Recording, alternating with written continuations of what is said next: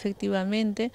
la persona damnificada, mayor de edad, quien estaba tendido en el piso este, y con una moto también, que ya había sido auxiliado por un transeúnte que le había ayudado y él había levantado la moto, estaba al costado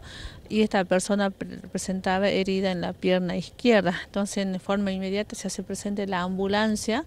del hospital, en donde fue trasladado primeramente al hospital, en donde se detecta que sí tenía aparentemente fractura y es trasladado al hospital San Bernardo, donde se contactó que tiene este, fractura en el empeine. la, que el, digamos, el causante de este siniestro fue un, una camioneta Ford Ranger eh, color roja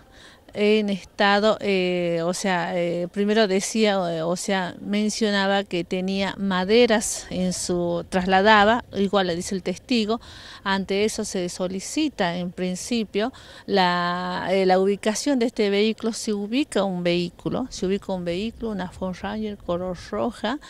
con, inclusive tenía también maderas en la parte de cargado, se traslada con tres ocupantes, pero a posterior ahondando en la, investigación y que inclusive se trajo a criminalística para verificar, porque obvio que tenía que tener daños también la camioneta, se contacta que esta camioneta no había sido la protagonista de ese siniestro vial, así que fue liberado por con la previa consulta fiscal, fue de, fue de digamos liberado este vehículo.